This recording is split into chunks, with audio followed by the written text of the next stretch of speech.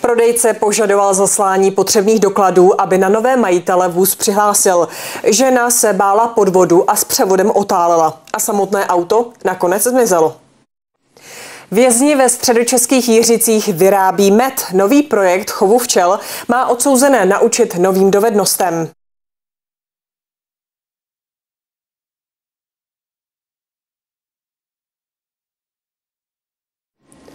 Povodně teď nejvíc děsí Paříž a její okolí. Řeka Séna se vylévá z břehu a ochromuje francouzskou metropoli.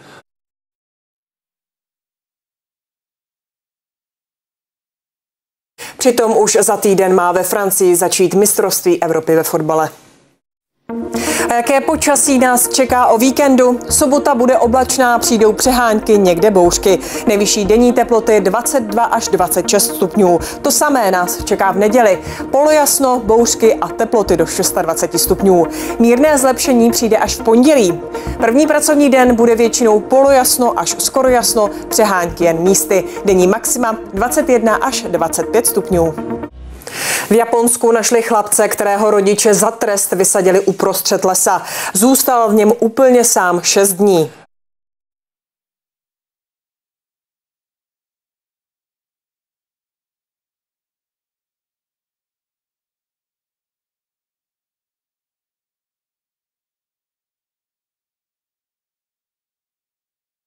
Každým rokem počet cestovatelů stoupá. Vyplatí se proto myslet na prevenci. Nejčastější obtíží je průjem. Tomu i dalším onemocněním se ale dá předejít. 26-letý Pavel Novák je profesionální fotbalista. Po snídani chtěl jako každý den odejít na trénink. To se ale tentokrát nestalo.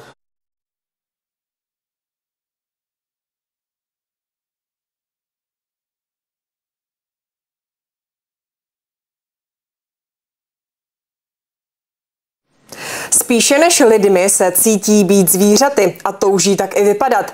Kvůli svému snu jsou pak ochotní podstoupit i ty nejdrastičtější operace a utratit za ně veškeré své úspory.